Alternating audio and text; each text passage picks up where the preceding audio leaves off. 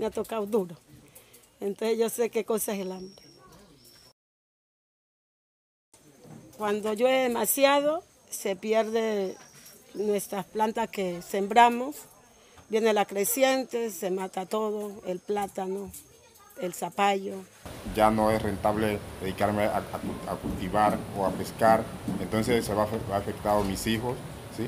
porque no tengo cómo darle una mayor ed- ed- educación.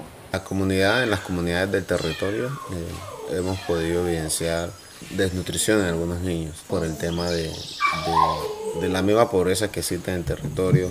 Creemos que también todo el tema de contaminación que ha existido al mar. Hay partes que no se puede cultivar por el tema que, que como ya pega directo el sol hacia el suelo, entonces ya hay productos que ya no se cultivan. El clima se ha cambiado bastante, eso sí es verdad. Los ríos, los mares, Acá nosotros teníamos todo por temporada, ¿no? O sea, más o menos se podía prever las cosas. De tal mes a tal mes eh, es lluvia o verano. Ahora está la cosa como loca. Nomás de un día para otro, bundum el agua. O, unos veranos interminables que seca, seca o toca echarle agua a la tierra. Ahora hemos sufrido cosas que nunca hemos sufrido, como las inundaciones, de esa erupción que se dio por la tala indiscriminada de bosque. Lo creemos que se debe a todo el tema del cambio climático, a la deforestación que, que se ha presentado también en el territorio. Tengo miedo de lo que,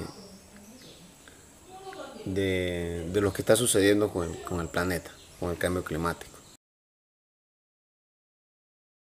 Nuestros ancestros, ellos cultivaban lo que se querían comer, sí, la yuca, el plátano, el banano, el chiro, que nosotros le decimos acá, sí. Eh, y ellos tenían, ellos no, no necesitaban del producto de afuera. La diferencia de ahora es que nosotros ya no cultivamos, sino que nos hemos dedicado a, a comprar.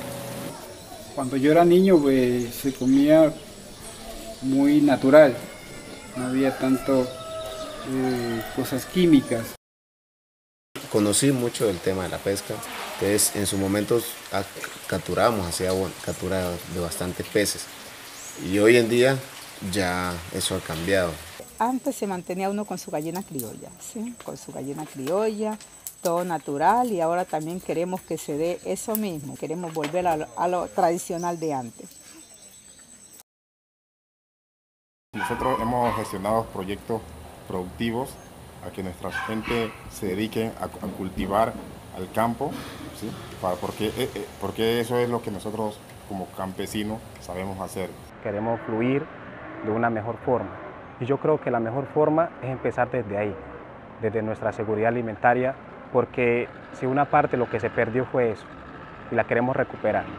Yo sueño ver mi territorio, mi comunidad, digamos, exportando cacao, porque nosotros estamos tratando de, de, que, de hacer una empresa comunitaria, una empresa donde que el productor pueda sacar su producto directamente al exterior. Tumaco produce uno de los mejores cacao del mundo. Me fascina. Yo cuando hago me tomo mis dos pocillos, que me gusta bastante.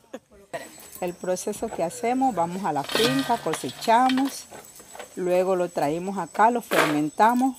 Al cuarto día de, de estar aquí en cajones, de estar haciendo el volteo, entonces lo que hacemos es partir los granos, partimos aproximadamente 10 granos y podemos ver su estado de fermentación. Luego de que el cacao esté listo, lo que hacemos es trasladarlo a los muelles de secado. Luego que ya está el cacao listo de muelle, lo que hacemos es vaciarlos en saco y trasladarlo hasta acá, hasta muelle. Traemos el chocolate, lo hacemos el fogón y lo meneamos, lo tostamos, como quien dice lo tostamos. Lo pelamos, luego que lo pelamos lo venteamos, que salga una caspita que tiene y luego lo molemos. Una vez ya ese cacao sale de allí del, mo- del molino eh, ya pulverizado, ¿sí? ya lo pasamos a un, molino refinador de piedra que tenemos, donde el molino lo, lo que hace es volverlo como líquido Luego de allí eh, ya se le echa manteca, ¿sí? manteca de cacao, eh, se le echa el azúcar, pero el azúcar también toca que refinarla en el, en el molino refinador y ya se mete a la nevera y ya, listo.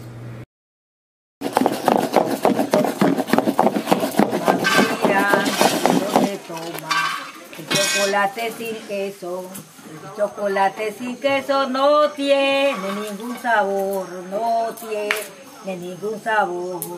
Y yo como soy el queso, y yo como soy el queso, al chocolate me arrimo, al chocolate me arrimo. El que sueña y, y ve hecho realidad su sueño, ¿sí? eso le inspira a seguir trabajando más y más.